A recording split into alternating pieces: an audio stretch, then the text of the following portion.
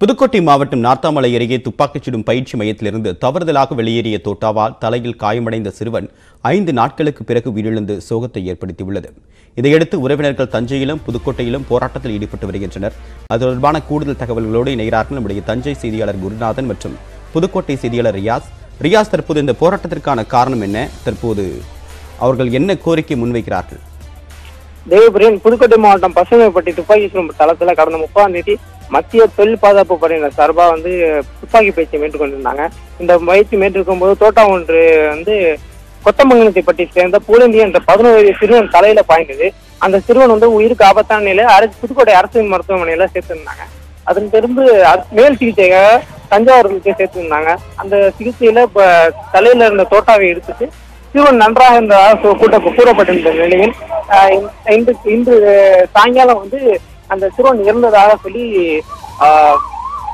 தகவல் அடுத்து புதுக்கோட்டை ஆஹ், புதுக்கோட்டை புதுக்கோட்டை திருச்சி நெடுஞ்சாலையில அவங்களோட உறவினர் கொத்தமங்கலத்து பெற்ற உறவினர்கள் வந்து சாலை மறியல ஈடுபட்டு இருந்தாங்க.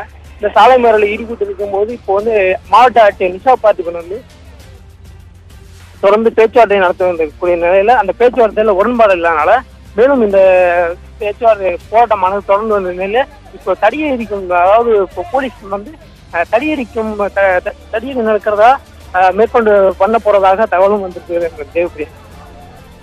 நீங்க தொடர்ந்து இணைப்பெறுங்க ரியாஸ் அடுத்ததாக நம்முடைய தஞ்சை செய்தியா குரு குருநாதனிடம் பேசலாம். குருநாதன் தற்போது அங்கேயும் அங் தஞ்சையிலையும் பொதுமக்கள் போராட்டத்தில் ஈடுபட்டிருக்காங்க. இதனுடைய காரணம் என்ன? அவங்க தரப்புல என்ன கோரிக்கை வைக்கிறாங்க? தற்போது துப்பாக்கி குண்டு எப்படி பாய்ந்தது? இந்த விபத்து எப்படி நிகழ்ந்தது அப்படின்ற விசாரணை எந்த அளவுக்கு இருக்குது நிச்சயமாக தேவபிரன் அதாவது கடந்த முப்பதாம் தேதி காலை வீட்டில் உணவு அருந்து கொண்டிருந்த சிறுவன் புகழேந்தியும் அவரது தாயும் மட்டுமே இருவரும் வீட்டில் இருந்துள்ளனர். அப்போது முதல் உண்டு சிறுவனின் தாய் பழனியம்மாள் பழனி அம்மாள் தலைமேல் சென்று உள்ளது அப்போது அவர் ஏதோ சென்றுள்ளதாக தலையில் மேலே பார்த்தபோது அடுத்த நொடியே சிறுவன் புகழேந்தி தரையில் சாய்ந்துள்ளான். என்ன ஏது என்று அவர் அறிவதற்குள்ளே தலையிலிருந்து ரத்தம் பீரிட்டு வெளியேறியது. உடனே பதறி போய் அவர் அருகில் உள்ள கீரனூர் அரசு மருத்துவமனைக்கு அழைத்து சென்றுள்ளனர். ஆனால் அங்கு போதிய வசதிகள் இல்லாததால் உடனடியாக புதுக்கோட்டை அரசு மருத்துவமனைக்கு அழைத்து சென்றனர். அப்போது அங்கு ஸ்கேன் செய்து பார்த்ததில் தலையில் குண்டு இருப்பது தெரிய வந்தது.